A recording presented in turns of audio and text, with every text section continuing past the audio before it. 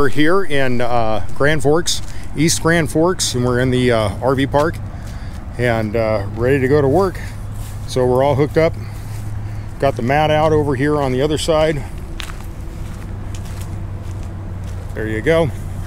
Home sweet home for the next two weeks to three weeks. All right, we're moving day. We're being evacuated. So we got to get the trailer ready to move to higher ground in the park. He's so upset.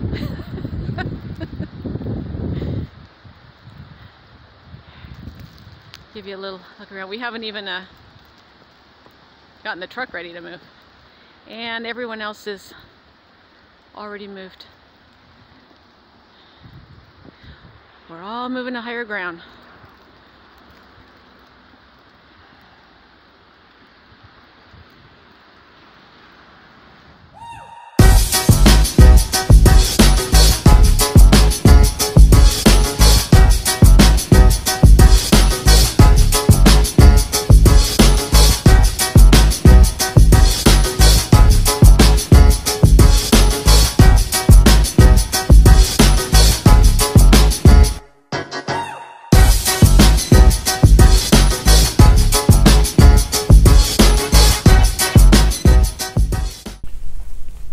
Okay, so here we are. We're uh, back at work. Clocking in.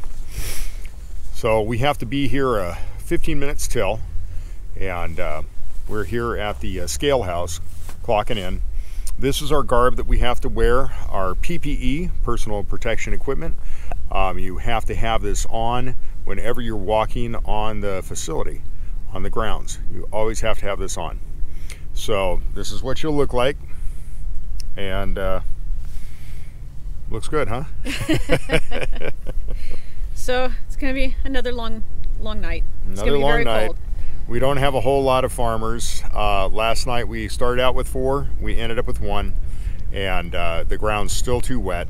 Um, they're they're um, actually pulling the trucks through the field because with All-Tracs, yeah. with tractors with all tracks, Even the ones with the eight tires, they can't even make it through. So the all tracks are pulling the trucks. Some of the trucks are sinking in the ground so far that they're sinking up to the axles. Uh, last night, uh, I heard from one of the other foremans that at his piling uh, area, that uh, the farmers that were coming in there, uh, one of the trucks almost tipped over in the field, and uh, that farmer shut it down so he wouldn't incur any damage or any death. No, I'm just kidding. Um, so, so this is how treacherous it is out here when it starts raining so much, and the the fields get so saturated with water.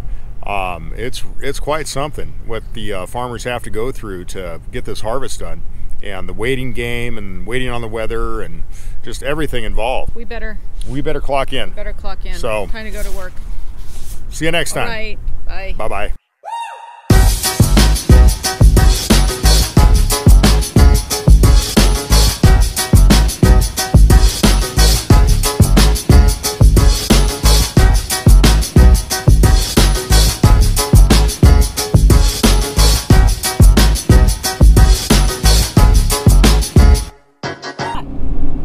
Behind us, and uh, just like that, it, heading back home. It felt like it was going on forever. This would never end. now what, it's over. What did you say it felt like? It felt like a uh, oh, TV, TV show? It, felt, it felt like a reality show that I signed up for, and it was to see how much I could take, how little sleep I could do with, and and uh, standing for 12 hours in the cold, and and that's, yeah, that's what it felt like every day. Yep. So if anybody ever wants to experience this, I think it's well worth it. You didn't say that a couple days ago, but now that we've had some She's sleep, kidding. now that we were really tired. We were really tired. it's you're gonna, taken, you're gonna change things. You're gonna push yourself, and uh, you know what? No, you it's gotta. Worth it. It's worth it to try it. It's worth it to try it. You gotta change things up every once in a while.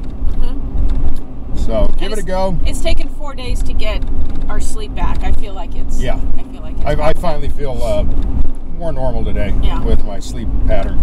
So it's not easy. You know, I'm not going to tell you that. Oh, heck no. Um, I will tell you that uh, I think it's a misnomer. Everybody out there with their YouTube videos that have done this, that uh, you're going to have to throw your clothes away and burn them. That's not true. The smell? There's no The smell. smell, no, the smell it's- is from the, the it's from the refinement plant. It's from the yeah. So no, No, I washed them, and I'm going to save them in case we do it again next year. Now they do get stained, yeah, uh, so you're not going to get the stains out. So don't use good clothes. But yeah. The mud is the, just the point was, horrendous. is, I mean, I bought these clothes for nothing. Some of them for a dollar. I'm not. I, yeah, I don't plan on throwing them away. but your clothes don't stink. No, they do not. That's not true. all that. So on our way home. Bye bye. Bye. So what we have going on today is I'm the piler. So what we're doing is we're piling the beets on that big mountain right there. And what I do is I swing the boom that all the beets are coming off the conveyor belt. And I swing it to where it's evenly distributed and we keep the beets on the concrete. So that's my job for the day is beet piler.